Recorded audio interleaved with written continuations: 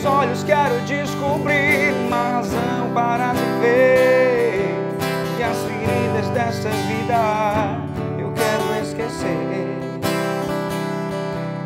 Pode ser que eu a encontre numa fila de cinema, numa esquina ou numa mesa de bar. Eu procuro um amor que seja bom Vou procurar, eu vou até o fim. E eu vou tratá-la bem Pra que ela não tenha medo quando começar a conhecer os meus segredos.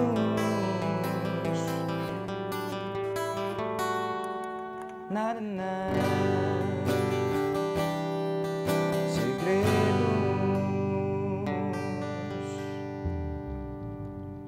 E o programa Melhor de Tudo está de volta com a musicalidade de Tiago Reis. Aproveite para acessar as nossas redes sociais. No Instagram é só você digitar Programa Melhor de Tudo. Aproveite para baixar o aplicativo Jornal O Dia Pi e acompanhar toda a programação do Sistema O Dia de Comunicação. E agora a gente vai falar de emagrecimento aqui no programa Melhor de Tudo. É possível emagrecer sem abrir mão do prazer? Nós conversamos com um nutricionista que vai trazer todas essas informações a partir de agora. A busca incessante pelo emagrecimento faz com que muitas pessoas se tornem adeptas às dietas da moda, seja jejum intermitente, dietas low carb, mas será ser possível conseguir emagrecer sem abrir mão do prazer de comer um doce, tomar aquela cervejinha?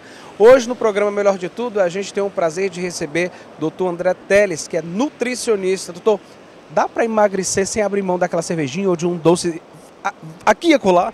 Então, Ítalo, sem dúvida dá. Tá? Na verdade, o que determina o emagrecimento é o contexto geral. Sim. Quando você consegue ter um equilíbrio em todas as suas refeições, na maioria do seu tempo, praticar uma atividade física de forma consistente, de forma programada e manter uma base alimentar saudável, é possível sim a gente flexibilizar essa dieta e ter aquele momento de prazer, ter aquele happy hour, ter aquele chocolate, aquela cerveja, sem grandes prejuízos. Então, com uma organização feita por um profissional capacitado, sem dúvida, isso é perfeitamente possível. Hoje, André, a gente observa, é, por exemplo, é, seria o indicado, o ideal seria, no caso, você comer de tudo um pouco, né, buscando se policiar. É, acredito que isso vai acabar com que a, a dieta ela tenha um resultado mais positivo, né? Sem dúvida. É, o que é que acontece? Como que nós profissionais programamos uma dieta assim? A gente consegue trabalhar com padrões de resultado. Ou seja, se você tem um, uma adesão 80, 90% da dieta, você vai ter um resultado X, que já é muito válido. Se você consegue ter uma adesão um pouco reduzida, o resultado também ele acompanha e acaba sendo um pouco menor. Mas mesmo num planejamento onde você visa grandes resultados, é possível você encaixar uma ou outra refeição mais é, palatável, digamos assim, fora desse padrão mais convencional. Hoje a gente observa que as pessoas elas estão cada vez mais é, adeptas à busca de pela prática de atividades físicas, é, pela mudança do estilo de vida, da própria alimentação. É, e até uma dúvida de muitas pessoas também com relação a, ao consumo de, por exemplo, proteínas, né? Geralmente praticantes de atividades físicas eles fazem um consumo de proteínas de uma forma mais elevada.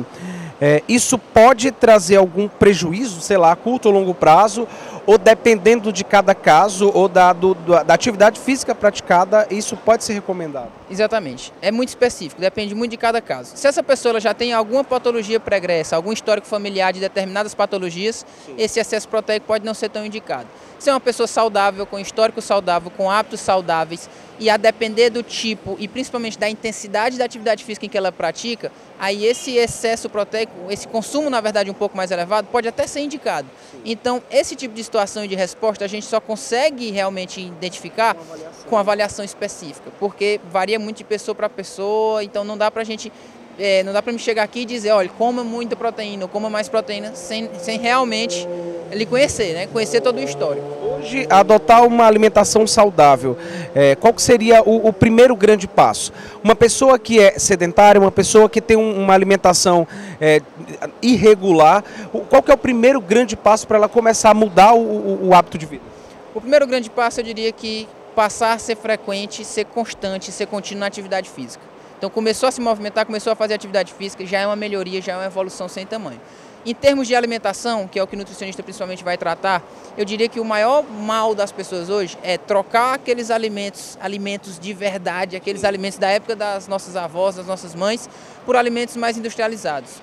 Muitas pessoas hoje acabam que consomem, têm um consumo muito alto, muito grande, de alimentos enlatados, emplastificados, ensacados e acabam esquecendo do básico: frutas, vegetais, batata, arroz, feijão, macarrão, frango, carne, ovo. Então, começar a consumir de forma bem mais frequente alimentos naturais, alimentos aquele que você compra naquela horta perto da sua casa, no mercadinho perto da sua casa, e deixar um pouco de lado esses alimentos mais industrializados, sem dúvida é o primeiro passo para a alimentação mais saudável.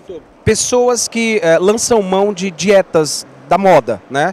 De repente ah, ah, passam longos períodos sem se alimentar, ou de repente faz uma restrição de forma brusca. É, isso é correto? O que, que isso pode acarretar para o organismo? Nós temos dois tipos de situação. Uma primeira situação mais preocupante. Você aí que faz dieta da moda por conta própria, você está sim correndo risco de saúde, você pode passar a ter algumas complicações. Esse é o primeiro risco, o risco básico. E o segundo risco, que na verdade acontece com quase todos: você começa uma dieta, você perde um pouco de peso, mas aquele padrão alimentar que você buscou na internet ou que você, ou que você resolveu fazer por conta própria, você não consegue dar a continuidade. E aí já entra as grandes frustrações. Pô, você perdeu um pouco o peso, mas não consegue manter. Ganha o peso todo de volta ou até mais, e aí fica naquela: pô, será que eu não consigo fazer dieta? Será que eu nunca vou conseguir emagrecer? Mas não é você que não consegue, é a estratégia que você adotou que com certeza não foi a mais indicada, a mais adequada para você você. É interessante que eu observava no, no, no Instagram do doutor André, é, as pessoas elas têm essa, essa, essa busca de uma forma mais acelerada para emagrecer. Ou seja, se você não consegue é, perder, no caso, você ganha às vezes 7 quilos, mas para você perder de uma forma totalmente diferente. Então, assim, não é em 7 dias que eu vou conseguir, de uma forma bem acelerada, perder 10 quilos. Com certeza. Uma coisa que eu brinco muito com o paciente quando ele vai lá no, no, no meu consultório, ele fala assim, André, eu quero perder 15 quilos, mas eu quero perder rápido, porque daqui a dois meses é a minha carnaval, tem o aniversário. É minha formatura, é um casamento. Tal. Beleza, você tem quantos anos? Ah, eu tenho 35. Certo, você acha que você ganhou esses 15 quilos que você quer perder em dois meses ou foi no decorrer desses 35 anos? Então, vamos ser justos, pessoal. E além de ser justos, vamos ser coerentes. Buscar essa perca de peso de forma mais moderada ela além de ser mais saudável, ela é mais contínua, consistente. A capacidade de você se manter nesse processo é muito maior. E esse é o grande ponto de flexibilizar a dieta. Quando eu chego para você e digo, você não pode comer mais chocolate, você não pode comer um pedaço de pizza, você não pode tomar cerveja, é fato que você não vai se manter um, dois ou três meses nesse processo. Porque todo mundo quer, né, em um ou outro momento, se distrair, se divertir. Isso está muito ligado à comida. Você mas, fazer disso uma rotina. Né? Exatamente, mas se a gente consegue encaixar um padrão alimentar bem saudável, um padrão de atividade física, pontuar bem esses erros alimentares, né? ou seja, de forma programada, consumir ali uma ou duas vezes na semana uma, uma refeição um pouco mais pesada, pode ter certeza que esse não vai ser o problema. Bacana, doutor André. Olha, muito obrigado pelas informações relacionadas à busca é, de um estilo de vida mais saudável, é, onde o doutor André está mostrando que é possível sim você emagrecer sem abrir mão do prazer de poder comer um doce, de poder desfrutar do happy hour com os amigos, claro, não fazendo disso uma rotina. Muito obrigado então pela participação, doutor. Eu que agradeço o convite. Recadinho especial do Hospital Itacor para você. Para cuidar de você, o Itacor amplia os serviços e melhora o atendimento. Para cuidar de você, o Itacor faz investimentos e renova a tecnologia. Para cuidar de você, o Itacor forma profissionais e está sempre pronto. Porque para cuidar de você, o Itacor não dorme. Consultas, exames, laboratório, internações, pronto atendimento, UTI móvel e profissionalismo. Hospital Itacor. Para cuidar de você. Responsável técnico Dr. Itamar Costa, CRM 973. Tá aí, portanto, esse foi o recado do Hospital Itacor para você. E agora a gente vai falar de inteligência emocional aqui no programa, um tema importante que reflete principalmente na nossa saúde. Essa semana nós estivemos conversando com uma terapeuta, Yolanda Amorim, e você vai acompanhar todos os detalhes agora. No programa Melhor de Tudo de hoje, nós vamos falar de um assunto muito importante: inteligência emocional que traz características cruciais para facilitar você a lidar com as pessoas. Nós temos o prazer de receber aqui no nosso programa a Yolanda Amorim, que é administradora, terapeuta, consteladora familiar. Seja bem-vinda ao nosso programa para falar de inteligência emocional. É, o que, que seria inteligência emocional? A forma como a gente pode utilizá-la para facilitar a nossa vida. Sim, é, obrigada, eu que agradeço, né?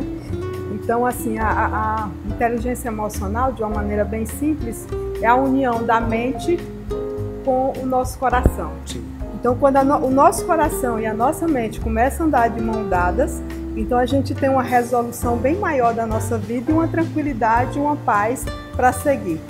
Uma situação bastante comum no dia a dia das pessoas é a forma como a gente julga, né? Ah, de repente eu tenho uma determinada pessoa que eu nunca tive a oportunidade de ver ou que tive uma primeira oportunidade de conhecê-la, acabo julgando pela aparência ou pela minha própria concepção. A inteligência emocional ela atua de forma a melhorar a pessoa para lidar com uma situação como essa? Sim, com certeza. Ah, quando a gente trabalha dentro das palestras ou mesmo em workshop com a inteligência emocional, ah, o nosso foco é trabalhar os quatro sentimentos. Quais são eles? Primário, o secundário, o adotado e o meta-sentimento. Então, sobre esse, essa pergunta que você me fez sobre os julgamentos, aí é claramente um sentimento adotado. Sim. Então, quando eu transfiro algo que é meu para o outro, então o outro, na realidade, fica sendo um espelho.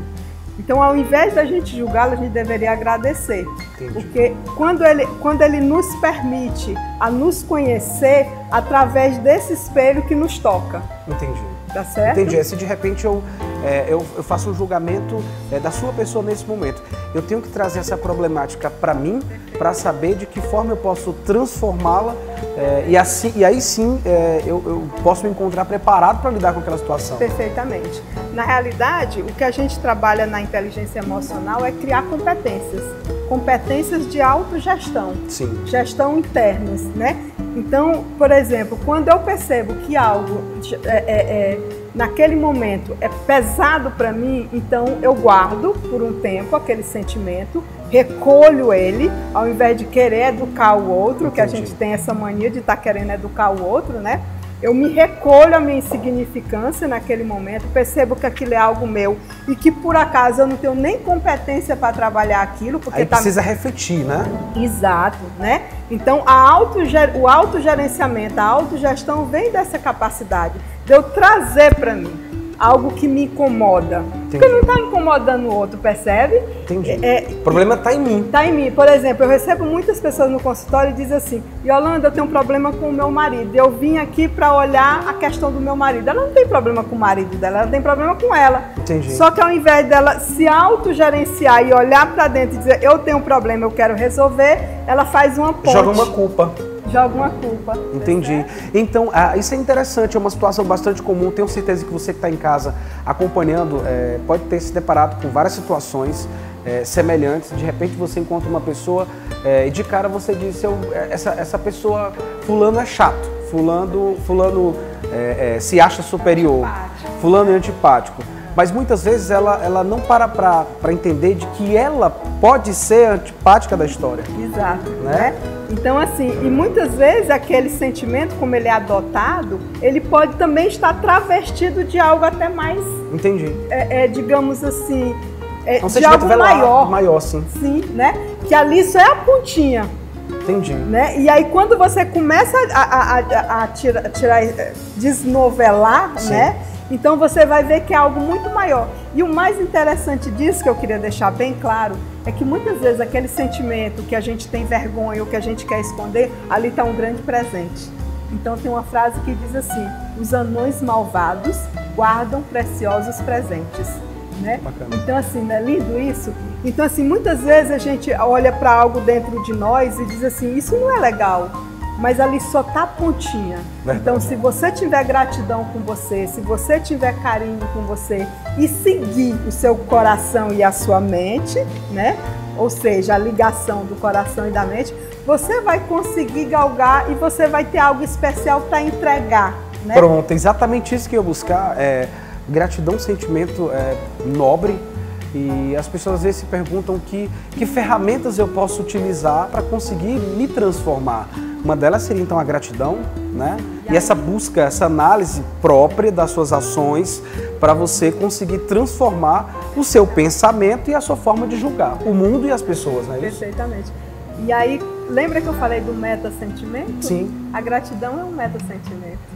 Aquele sentimento que, que traz paz, é o que te Exato, deixa bem. né? Então, meta é, é algo acima, né? Ou seja, é um sentimento Que acima. transcende é, tudo. acima de- de- dessa, dessa, digamos assim, mesquinhez. da- do, do conturbado. né? Do adorei, do conturbado, exatamente. É aquele trânsito livre.